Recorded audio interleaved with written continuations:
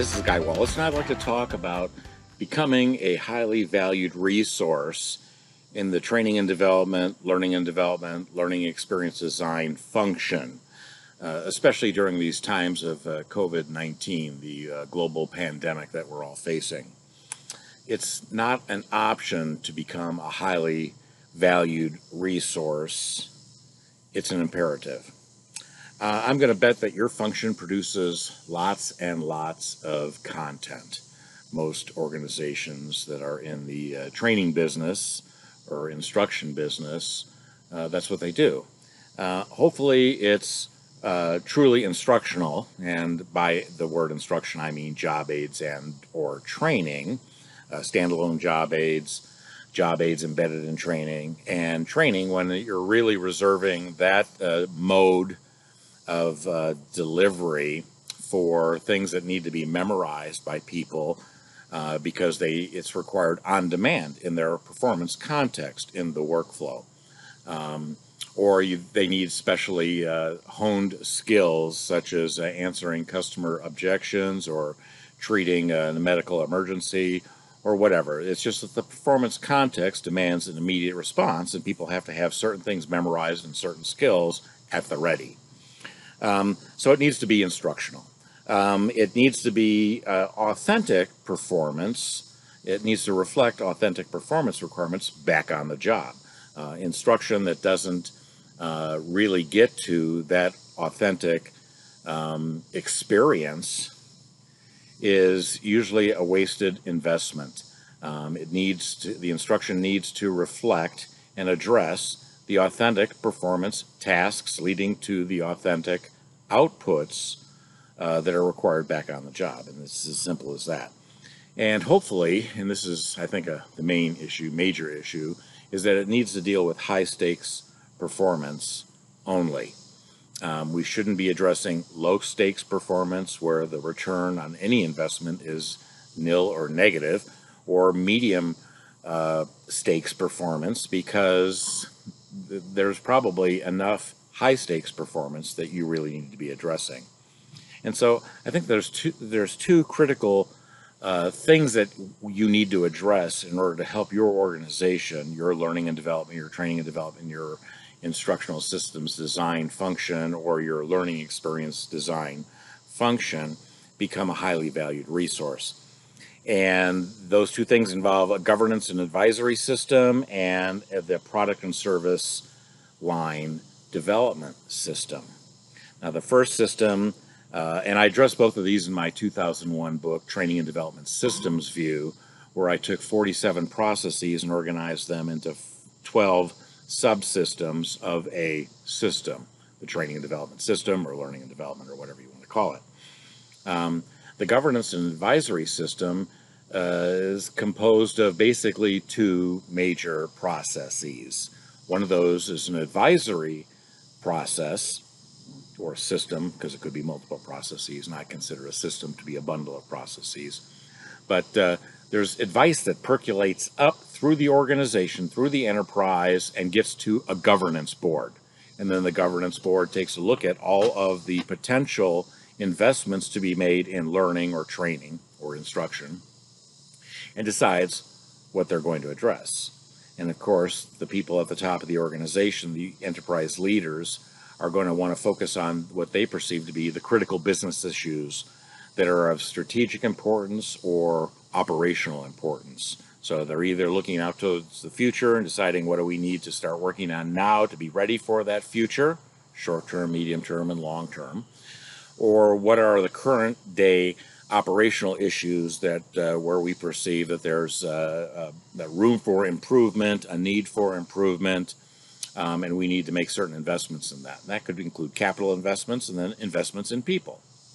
Um, so in this video here, I'd like to address uh, those two systems, the governance and advisory system and the product and service line development system. So training products and services. Coaching could be considered a service and you need to kind of set that up more formally than informally.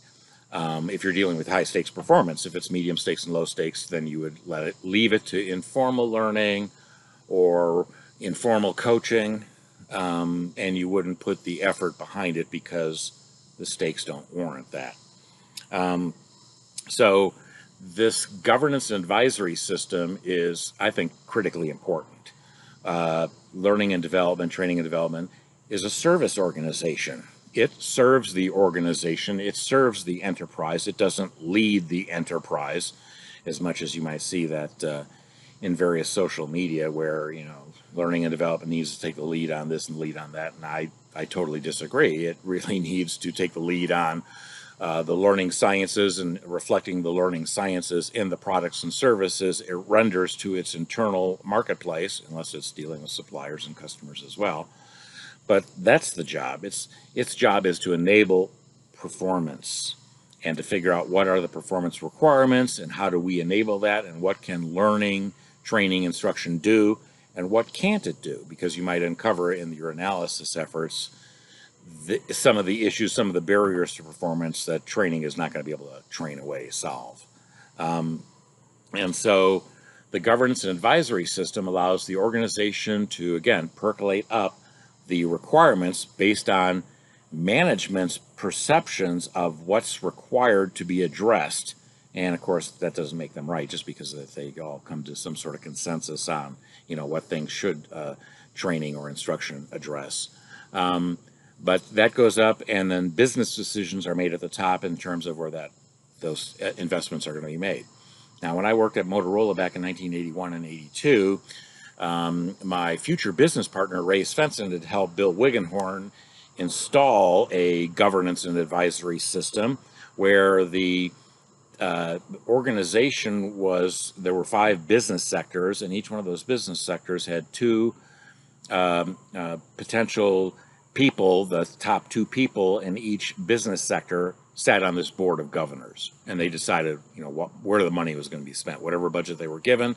And if they weren't given enough, they went to the organization and pried loose additional resources to meet the demands, the requirements of the business. And at the in within the business sectors, there were different organizational entities, and they all uh, came together in advisory councils, discussed their needs, found what was common across uh, a majority of the five business sectors, so three out of five, and would decide what requests that they would then put to the uh, board of governors. And uh, in Motorola's example, they had a advisory council on sales and marketing. They had one on manufacturing materials uh, and purchasing. They had another one on um, engineering. It was an engineering driven firm. And then there was one on management. And they may have added others after I left. I was only there for 18 months. But so that's how the organization placed its demands. It was the kind of the intake process, if you will, because when the word came down from the Board of Governors as to what we were to work on, that's what we worked on. We were working at their behest. We were working on their critical business issues as they saw them. And although there were times when some of those biz- critical business issues became less critical or something displaced it, we would shift resources and begin to work on their top priorities. We were less likely to to be affected by huge upsizing and downsizing requirements. Upsizing as the demand grew, but that would have required them to pony up more money in the budget, and that didn't happen too often.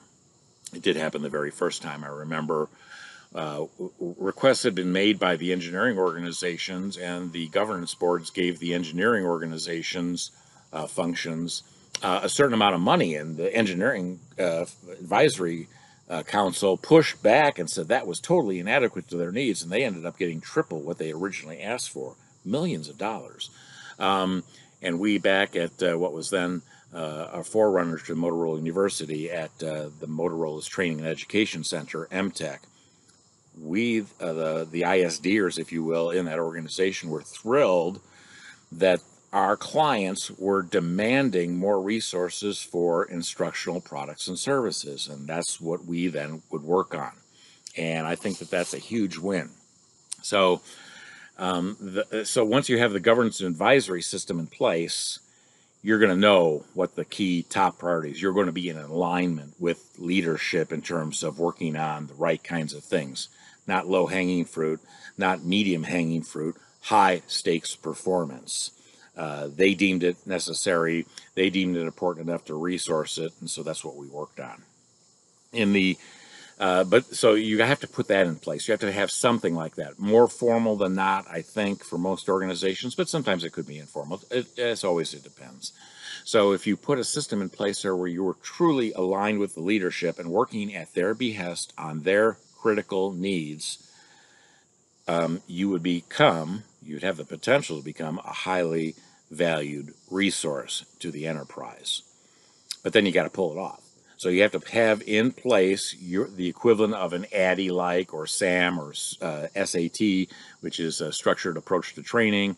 There's many different models for new product development for instruction, job aids, and training.